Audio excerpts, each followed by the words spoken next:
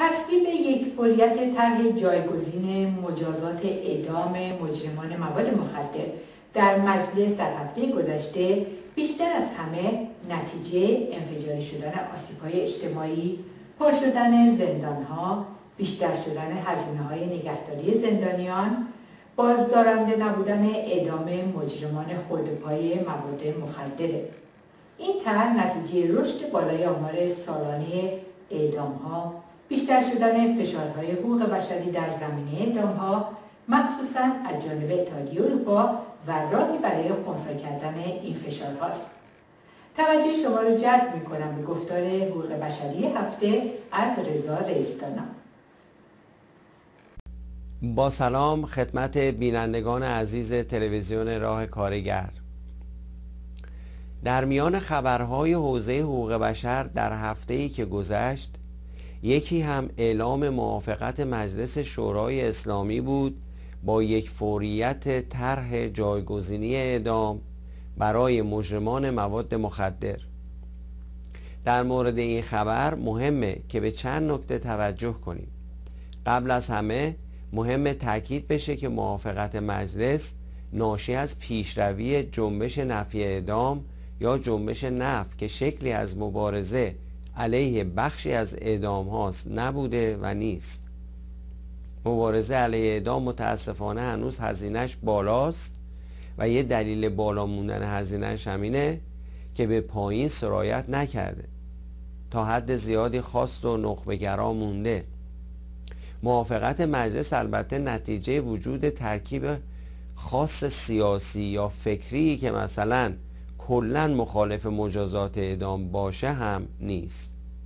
موافقت مجلس بیشتر از همه به خاطر انفجاری شدن آسیب های اجتماعی پر شدن زندان ها و بیشتر شدن هزینه های نگهداری زندانیانه.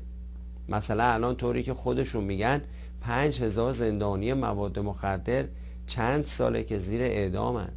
بیش از 90 درصد این افراد برای بار اول حامل مواد مخدر بودن که سنشون هم بین 20 تا 30 ساله. آمارهای اعدام ها نشون میده که از سال 2004 تا 2015 اعدام ها در ایران پا به پای آس... رشد آسیب های اجتماعی سه برابر شده و در دوره روحانی آمار اعدام ها 67 درصد بالا رفته. همین آمارها میگه که سهم اعدامیان مواد مخدر بالای 50 درصده. مسئله دیگه که مهم روش تاکید بشه اینه که حتی وقتی طرح جایگزینی اعدام برای مجرمان مواد مخدر مطرح میشه باز بخش زیادی از مجرمان مواد مخدر رو اعدام می‌کنن مثلا اگه مجرمان موقع دستگیری خودشون یا همراهشون چاقو داشته باشن یا مقاومتی صورت بدن که مسلحانه تفسیر و تلقی بشه اعدام میشن. علاوه بر این مرز بین معتادی که برای تأمین دواش خورده فروشی کرده با قاچاقچی کلان مخدوشه و هر دو رو اعدام می‌کنن ولی به جای قاچاقچیان کلان قاچاقچیان خورده پا هستند که انبوه اعدام شدگان رو تشکیل میدن. علتش هم اینه که قاچاقچی های کلان شبکه های روابطی دارند که به کمک آنها به سادگی گیر نمیافتند و یا رها میشن. در حالی که خورده فروشان دستشون به جایی بند نیست. با اینکه الان بعضی از مجلسی ها اعتراف می‌کنن که اعدام ها بازدارنده نبودن در مورد اعدام همه بزهکاران و قربانیان آسیب های اجتماعی نمی‌خوان مجازات جایگزین بذارن. فقط منحصرش کردن به مواد مخدر. اونم فقط یه بخشی از مواد مخدر. در حالی که اعدام اصولا ماشین جنایت دولتیه و باید کلا برچیده بشه.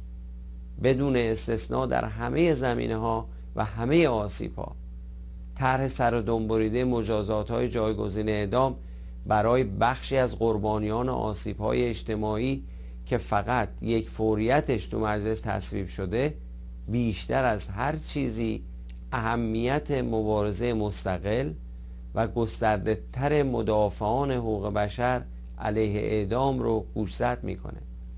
و روشنه که در کنار همه کنشگران مخالف نفی اعدام در جامعه سازماندهی خانواده های زندانیان در معرض اعدام برای پیگیری مبارزه علیه اعدام نقش موثری داره.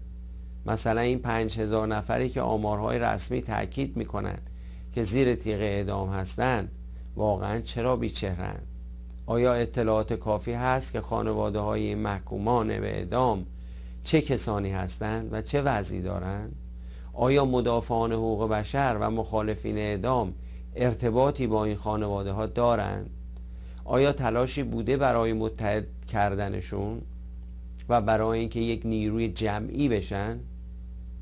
همین خانواده های محکومان به اعدام که سالهاست با دلهوره از دست دادن عزیزشون دست به گریبان هستند خودشون یک نیروی بزرگ مبارزه برای اعدام می‌تونن باشن.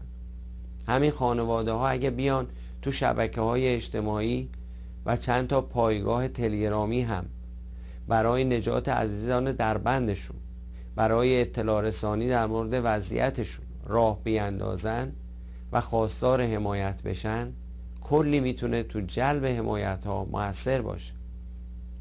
ما الان شاهدیم که مشابه همین کارها داره تو زمینه های مختلف میشه. حتی تو حوزه حقوق بشر هم داره میشه. بنابراین اگه به گسترش پایه توده مبارزه علیه اعدام فکر کنیم یک دنیا کار برای فعالان حقوق بشر هست.